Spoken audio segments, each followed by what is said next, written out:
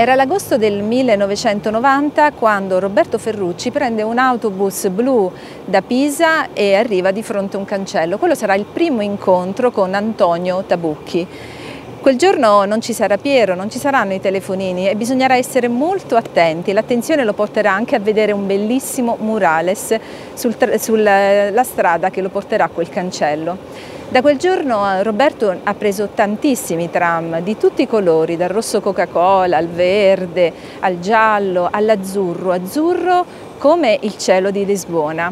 Tornerà a Lisbona e ci racconterà l'amicizia, l'amicizia straordinaria, l'amicizia accaduta tra lui e Antonio Tabucchi. E lo farà a stazioni, ehm, ci racconterà delle pacche, degli abbracci, delle serate insieme, dei libri degli amici, delle biblioteche e ci racconterà soprattutto perché è tornato a Lisbona. È, è lì perché ha un grande senso di colpa, cioè quello di non esserci stato il giorno che Antonio Tabucchi è stato portato via. E allora torna al cimitero monumentale dei poeti e nella sua cappella lascia un biglietto e mezza matita, un po' come a tranquillizzare la sua anima.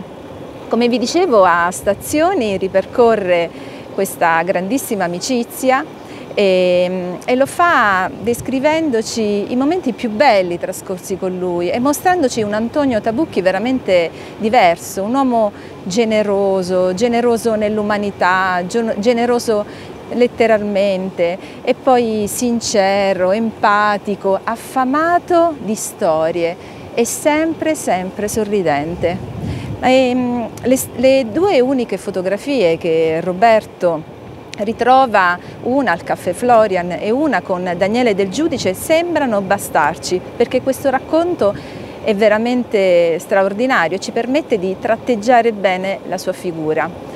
Eh, Antonio Tabucchi è soprattutto un uomo libero, oltre a essere generoso, e lo dirà una sentenza definitiva che arriva dopo la sua morte, lo dirà soprattutto sua nipote il giorno del passaggio del feretro. Scrivi, gli diceva puntualmente a Roberto Ferrucci e lui lo ha fatto e allora noi lo ringraziamo per Storie che accadono, questo libro che ripubblica in Italia e mm, soprattutto perché ci restituisce la figura di un uomo che abbiamo forse studiato pochissimo.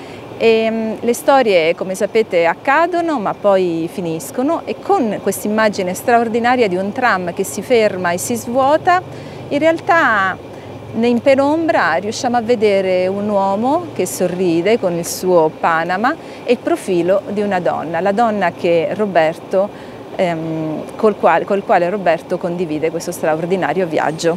Roberto Ferrucci, Storie che accadono. Buona lettura.